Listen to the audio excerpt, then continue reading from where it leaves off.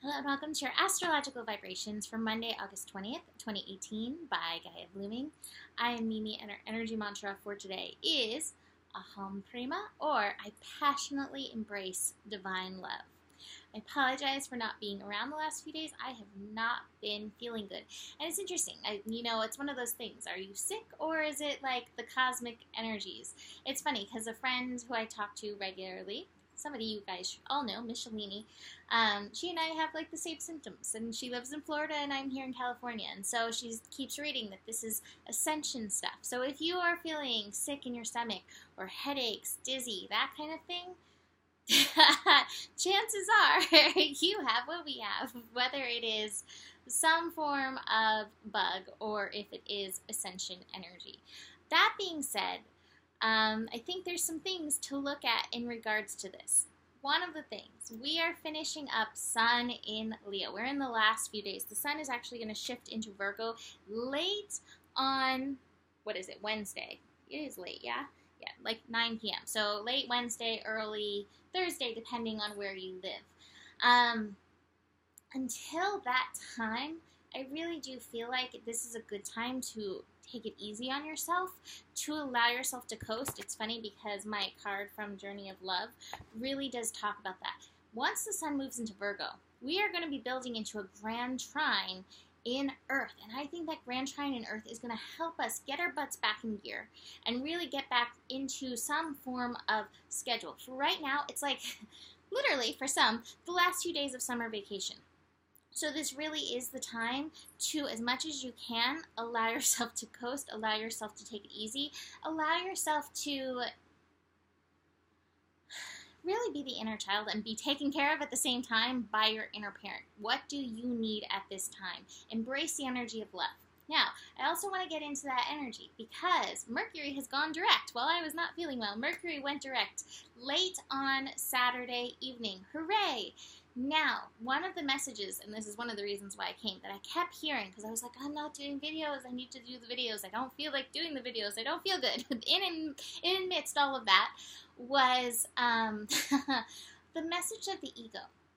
You know, that's one of the, the energies of Leo that I don't focus on as much because I really like to focus on the high vibration, but that is an energy of Leo. And let me be fair you may want to pin that on the Leos that you know or people with strong Leo energies, but Leo is somewhere in your chart. That's the beauty of the chart. We all have these 12 archetypes, these 12 archetypal energies somewhere in our chart. Some of them are more focused with planetary energies in their placement, and some are less focused. But We all have that opportunity to rise in and through the innocence of the inner child and leave behind the ego that we may have picked up through this time of living. With Mercury direct, it is so important that we keep hold of that energy of divine love and keep moving with that rather than that energy of the ego. And I just feel like with these like these last couple days of Leo and all this stuff that's going on, the ego stuff may be something that's up and knocking. Um, there's another great person that I love to talk to online, Bob, Bob Thompson, and he always says, breathe out, let that ego out. And so if you find yourself feeling some of that ego energy, if you feel like being Veruca Salt and stomping your foot, you may have left behind a little bit of that love energy and moved a little bit into that ego, and that's okay, but that's a chance to redirect yourself. This is now the third pass that Mercury is making over these degrees of energy in Leo. We really are meant to get this lesson of love. So take it easy on yourself love on yourself, and keep moving forward with that energy. Uh, last few things to mention. Moon in Sagittarius. Gosh, I usually love the moon in Sagittarius, but I swear it is knocking me out right now and in through this energy. But again, nice little connection coming. The sun and the moon today are connecting. Sun in Sagittarius, moon in Sagittarius.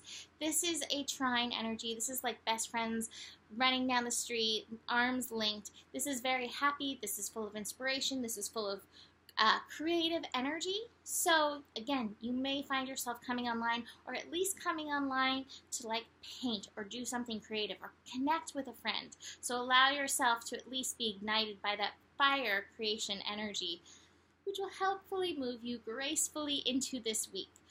The moon will then shift into Capricorn Uh, Capricorn moon, Capricorn moon may bring on the shoulds. But again, like I said, I feel like that time is coming. When the sun moves into Virgo, we are going to be having this grand trine in Earth. We're going to have Saturn in Capricorn connecting to Uranus and Taurus, and then the Sun in Virgo. That is going to be a very strong energy. It's also pushing us into the last few days of Mars retrograde.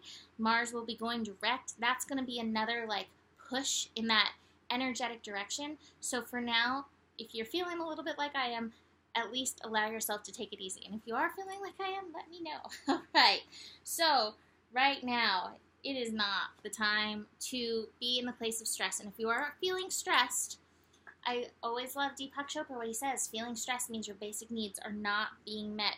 How do you need to show up for yourself? How do you need to love on yourself? This is the courage card. This is the card of moving forward with love. Spirit says you're ready. you're ready to do this. And this really goes along with the other card that I have from Journey of Love that basically says, like, things are happening. Things are happening. Sometimes we don't have to play such a part in it. But with the shoulds, we can get a little bit confused. Find a new vision, get out of the shoulds, make sure your basic needs are taken care of, and just take it easy on yourself. All right, let's read this and finish this up so hopefully it won't take a million years to upload. Riding the cosmic wave. 100%. You can be carried further by the cosmic wave than by your own efforts.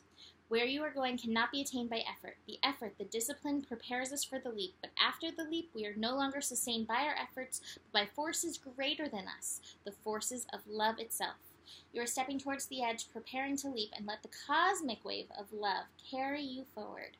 You shall be moved through the grace into the new world awaiting you.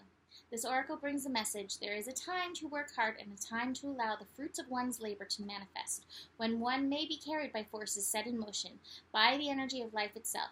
You can now let go and move further, reach farther with less effort. Now is the time to give yourself permission to stop paddling and instead ride the wave. Give in, let go, and be moved. So that is it for today. You can book a reading. I have my yin readings available. They are very powerful. Um, just because things are moving forward, this is like the best time to be embracing your yin energy. So digging into this can help you further do that. I highly recommend that. $66. It's about an hour long, 45 minutes to an hour long. Um, half hour readings are $55 right now, so it's a pretty good deal. Email me, mimiclark at gmail.com to set that up. I will hopefully see you tomorrow. I will hopefully be feeling better. The better it gets, the better it gets, and there is enough love in the world for you. Namaste.